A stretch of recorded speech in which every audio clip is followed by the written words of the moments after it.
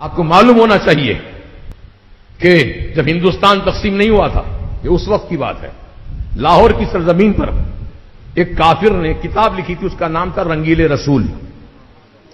उस किताब में हमारे आका की शान ने बेशुमार गुस्ताखियाँ लिखी।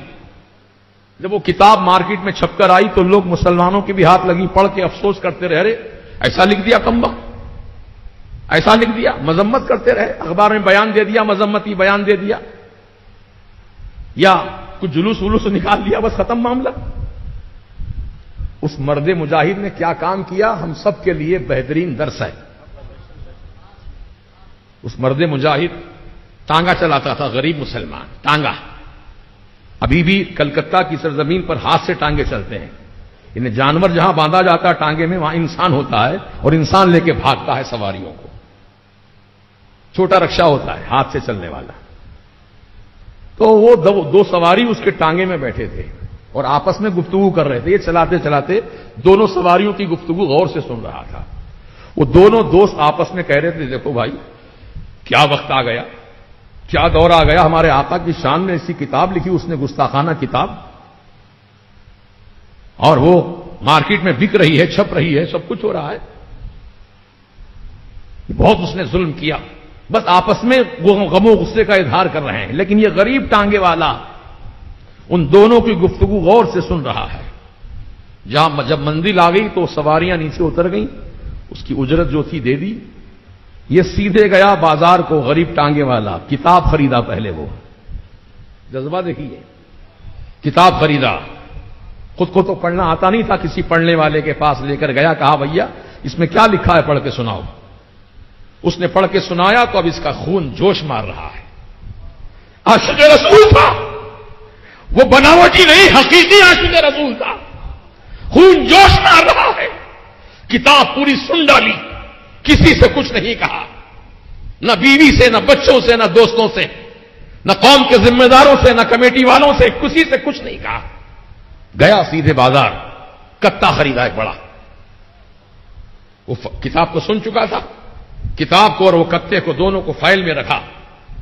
फ़ाइल अपने बगल में दबाया। किताब लिखने वाले का एड्रेस मौजूद था किताब पर। सीधे उसके एड्रेस पे पहुँचा। तो पहरेदार था, वहाँ खड़ा हुआ। दरवाजे पर उसने कहा, कौन है आप? फ़ाइल वैल देख के वो मरूब हुआ, कहा कि शायद कुछ हमारे साथ से काम करने, काम के लिए आया है। कहा, तुम्हारे फुला नाम के साहब हैं अंदर। कहा अंदर है? जाइए, मुलाकात कर लीजिए। अंदर गया ये बंदे मोमिन। किताब निकाला, सामने रखा। बस एक ही सवाल किया उससे कि किताब तूने लिखी है? उसने इकरार किया, हाँ, मैंने लिखी है। बस दूसरा सवाल नहीं, दूसरी कोई हुज्जत नहीं, कोई बहस नहीं। कट्टा निकाला और उसकी गर्दन पर ज़ोर से नारे तकबीर लगाकर ऐसा वार किया कि जिस्म अलग और सर अलग। मर्द मोमिन भागा नहीं। ये उसका असल किरदार है। आमतौर से लोग कत्ल करके भाग जाते हैं बचने के लिए। लेकिन ये मर्द मोमिन भागा नहीं, बल्कि उस गुस्ताख की लाश को खींच कर लेकर गया अपने हाथ से। पुलिस थाने पुलिस थाने के सामने लाश को रखा। खुद अंदर गया, पुलिस थाने में कहा, साहब, इसको मैंने, इस गुस्ताखी रसूल को मैंने कत्ल किया, मुझे गिरफ़्तार करिए। देखिए, हक पसंदी कैसी होती है आशिक में। झूठलाता, झूठ नहीं बोलता है। मक्कारी अयारी की बात नहीं करता, सच बात कहता है। मैंने मारा है इस खबीज को यह गुस्ताख रसूल है मेरे आका की शान में तोइन की, इसलिए मैंने मारा है। वजह भी बयान कर रहा है। मुझे गिरफ़्तार करो। पुलिस ने गिरफ़्तार कर लिया। फिर पंचनामा हुआ मुकदमा चला। तो जब जेल में बंद थे जनाब तो कुछ बही खा लोग आए जेल में मुलाकात के लिए। कहने लगे, तुम एक मरतबा जज के सामने कह दो यार कि कत्ल मैंने नहीं किया है। हम तुमको बाइज्जत निकाल लेंगे जेल जेल से बाहर। परेशान क्यों होते हो? कहा, नहीं बड़े अजीब बात है, आप लोग मुसलमान हैं तो मुझसे झूठ कहलवाना चाहते हैं?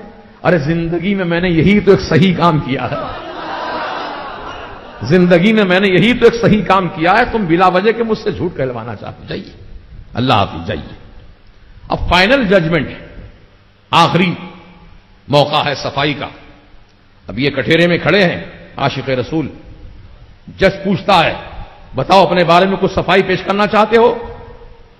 तो इस मर्द मोमिन ने कहा, जज साहब, मैंने बारहा अपने मुतालिक ये बात आपके सामने कही है कि कत्ल मैंने किया है। इसलिए किया है क्योंकि मेरे आका की शान में गुस्ताखी की। अब आप जो चाहे सजा दें मुझे। सूली के फंदे पे लटका दें। जज साहब, लिखिए, अपना ऑर्डर लिखिए। हुक्मनामा सुनाइए। तो जज ने तंजिया कहा, इतनी जल्दी है तुझे मरने की? कहता है मुझसे कि जल्दी सुनाइए फैसला। अरे हर मुजरिम जो होता है कुछ दिन जीने की तमन्ना करता है कुछ दिन रह जाऊँ दुनिया में तो अच्छा है। लेकिन तू कैसा बंदा है रे? मरने की तमन्ना कर रहा है। तो जज से कहा है जज सुन ले कान खोल कर मेरे आका को मैंने रात में ख्वाब में देखा है कि मदीने पाक में मेरा इंतज़ार फरमा रहे हैं।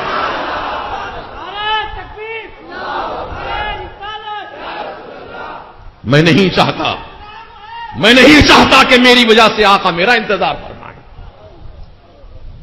क्या जज्बा है मोहब्बत है? सौ गज मारूं एक गज ना फाड़ू, ये मोहब्बत नहीं है। अल्लाह ताला हमें सच्चा आशिक रसूल बनाए मियाँ। बोम पिटारा करने की ज़रूरत नहीं है यार। अखबार में बयान दे दिया, एक एहतजाज रैली निकाली।